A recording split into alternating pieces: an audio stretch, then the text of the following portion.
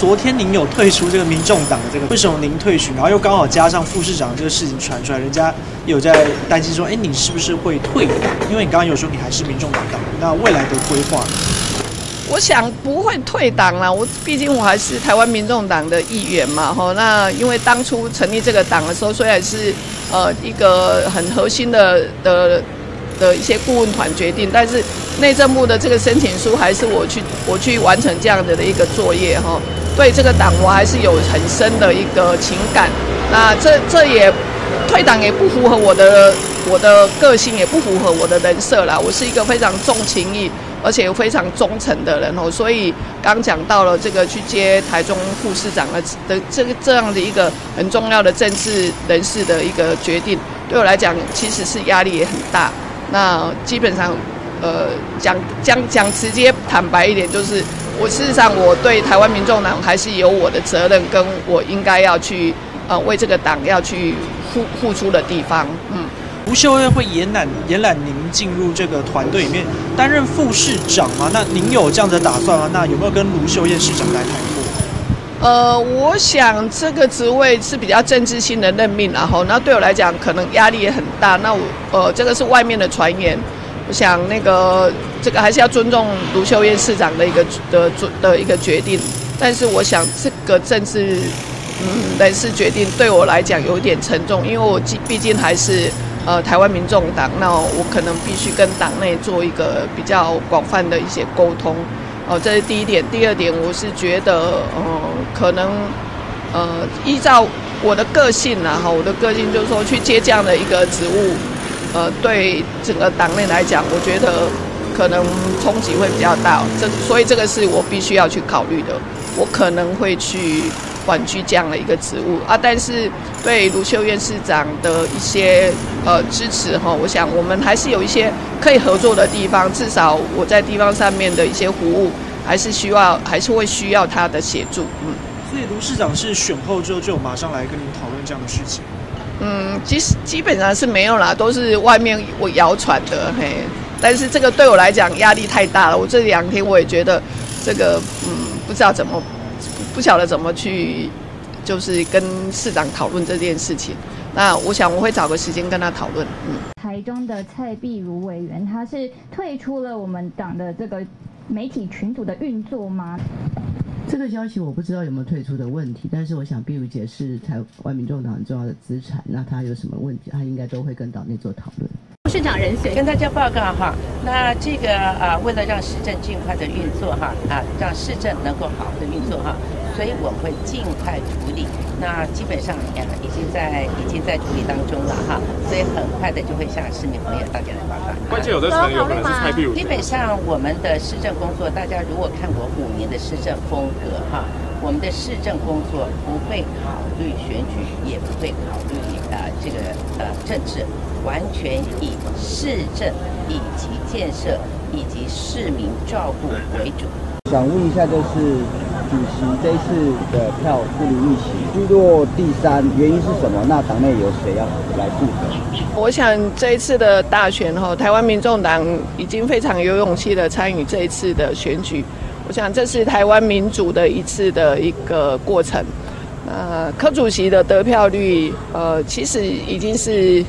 高高高过于预期了啦！吼，那小党在一个没有资源也经费呃不足的情况之下，可以达到这里，我相信这也是展现民主的一种风范。那我们呃选举就是这样，愿赌服输。那我想呃主权在选民身上，哦，那表示说我们需要更加的努力。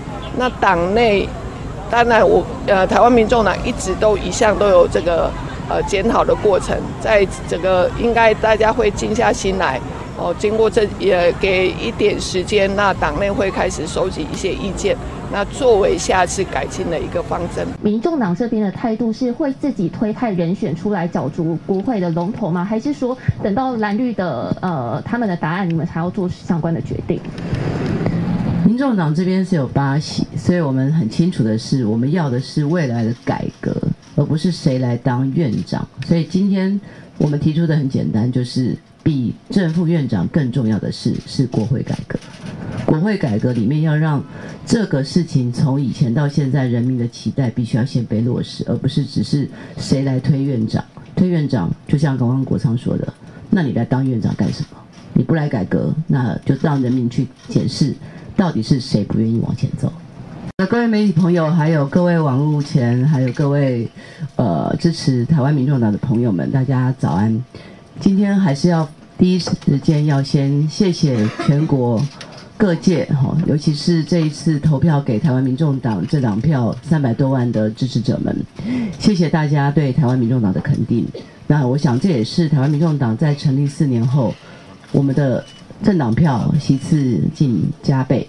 第二个就是这一次有八席的部分区立委，那这八席现在的确是立法院最关键的少数，所以现在我们八席啊。从昨天开始就已经开始工作，那接下去我们会一样秉持台湾民众党理性务实科学，还有秉持民意专业价值，在我们的立法院的运作还有未来的发展上面，朝向我们一再主张的公开透明、财政纪律，我们也希望能够帮人民做最严格的监督。